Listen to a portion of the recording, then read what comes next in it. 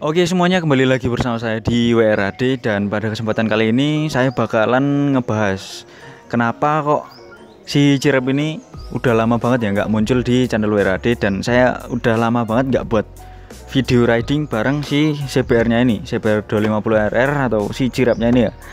Dan sebenarnya sih waktu beberapa pekan yang lalu saya itu crash bro. Jadi mungkin kalau kalian yang follow Instagram saya kalian tahu kalau saya itu crash karena saya udah buat video eh buat video buat stories di Instagram saya ya. Dan bagi kalian yang bertanya-tanya kenapa kok saya bisa crash? Jadi sebenarnya itu waktu hari apa ya itu? Kayak di apa ya Min dino apa ya? Wingi pas crashnya. Murah mungkin tuh satu amat sekolah kalau nggak salah itu hari Rabu dan itu waktu itu di bulan apa ya itu ya? Saya lupa pokoknya itu hari Rabu. Dan waktu itu saya mau berangkat ke sekolah ngambil soal luring bro. Jadi karena saya masih SMK kelas 3 jadinya saya ke sekolah itu buat ngambil soal luring bro. Soal luring di sekolahan saya gitu.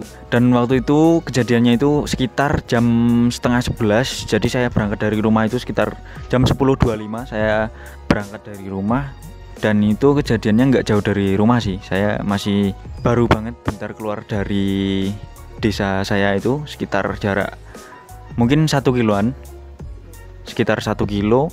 Dan itu kejadiannya di perempatan di perempatan dekat desa saya lah situ. Dan itu waktu kejadian itu saya kebetulan keluar dari desa itu bareng sama tetangga saya bareng sama Pak RW saya gitu bro. Jadi saya nggak kenceng sekitar ya mungkin kecepatan 40 sampai 50 km per jam.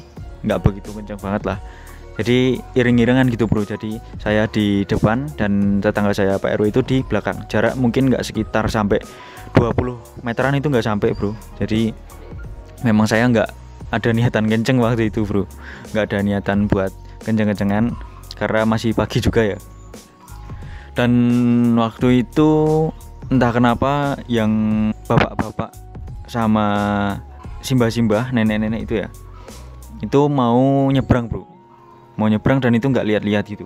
Dan waktu itu sih saya sempat ngehindar juga ya sempat ngehindar dan sempat ngerem cuman nggak kesampaian bro. Karena jaraknya itu udah deket banget di perempatan itu. Mungkin jaraknya nggak sampai 2 meter dan saya udah nggak bisa lagi ngehindar akhirnya ketabrak bro. Itu akhirnya kejadian crash. Dan waktu itu pun uh, waktu saya udah ngehindar tapi bapak-bapaknya itu malah berhenti di tengah jalan. Jadi saya juga udah bingung dan akhirnya kejadian crash gitu bro. Dan itu saya karena ada yang saksi mata lumayan banyak. Jadi orang-orang yang di sana itu jadi saksi mata semuanya bro. Kalau misalnya uh, saya itu keadaannya memang nggak kenceng juga dan yang bawa motor dari pihak sana itu nyebrangnya ibaratnya kalau bahasa Jawa itu ngawur bro atau waton lah. Ibaratnya ngasal gitu bro nyebrangnya nggak lihat situasi dulu asal belok gitu. Dan jadinya alhasil ya keras kayak gini bro. Cuman alhamdulillahnya sih saya nggak kenapa kenapa ya nggak ada yang cedera parah banget gitu nggak ada. Cuman ya motornya ini uh, lumayan agak parah untuk bagian crash di samping kiri sama yang bagian fairing depannya gitu. Lumayan agak parah bro. Tapi nggak kenapa-kenapa karena ya kalau motor bisa dibenerin lagi lah.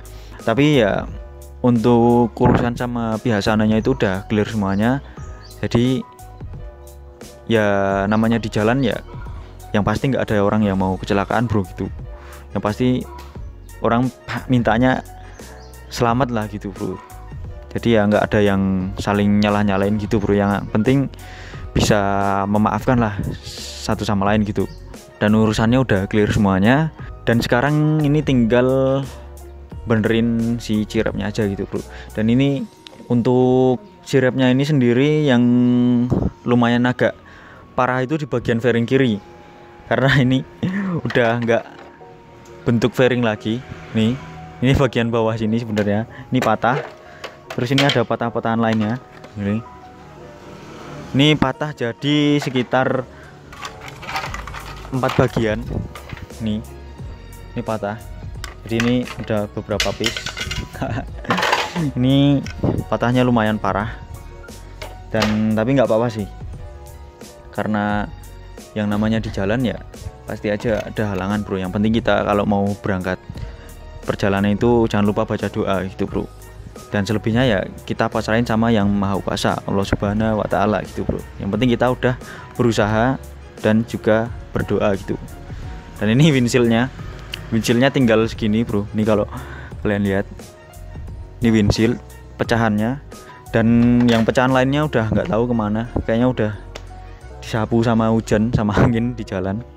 Dan mungkin ini nanti saya bakalan nampain nah ini mulai dari batok depan ini lumayan hancur sampai bagian yang kayak winglet ini di bagian bawah reflektor bagian bawah lampu ini juga pecah. Terus fairing kiri ini hancur semuanya tapi untuk bagian dalamnya nggak kenapa-kenapa sih. Untungnya ini ada frame slider dan juga ini kiprok-kiproknya semuanya aman. Cuman ini di bagian radiator ada ini ada bagian yang bengkok di bagian radiator. Ini bengkok masuk ke dalam. Untungnya sih di bagian kisi-kisinya sini nggak kenapa-kenapa cuman di bagian yang sampingnya sini dia agak bengkok sedikit. Dan untuk yang bagian kiri ini ya fairingnya aman cuman yang di bagian dalam ini dia pecah sama yang bagian luarnya ini juga pecah di bagian atas fairingnya ini. Dan untuk speedometer dan lampunya ini alhamdulillahnya dia nggak kenapa-kenapa bro. Karena mungkin kelindungi sama fairing-fairingnya juga sih. Jadi untuk bagian reflektor sama speedometer ini masih aman gitu bro. Dan juga ini motornya masih hidup ya jadi untuk bagian mesin nggak ada masalah sama sekali. Coba sekarang kita langsung aja bakalan nyidupin ya.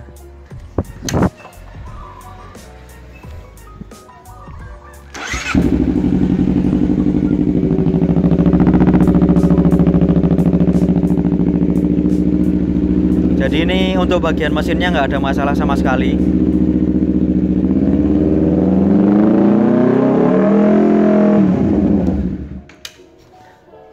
nah jadi gitu bro. Untuk di bagian mesinnya sih nggak ada masalah sama sekali dan motornya masih bisa hidup. Jadi cuman bagian fairing fairing kiri sama bagian fairing depannya ini aja sih sama batok depannya ini yang rusak gitu bro. Kalau untuk mesinnya aman semuanya nggak ada masalah. Ya oke mungkin itu aja sih kalau untuk yang rusak dari si cirapnya ini. Kalau untuk yang bagian-bagian vitalnya kayak mesin-mesinnya itu sama sekali nggak ada yang kena. Cuman di bagian radiator ini agak bengkok sedikit tapi nggak begitu ngaruh sih ini kayaknya karena bengkoknya juga nggak begitu parah banget. Dan untuk di videonya kali ini mungkin cukup segini dulu aja untuk kenapa kok si cirapnya ini udah lama banget nggak muncul di videonya WRAD dan saya udah lama juga nggak riding bareng si cirapnya ini ya.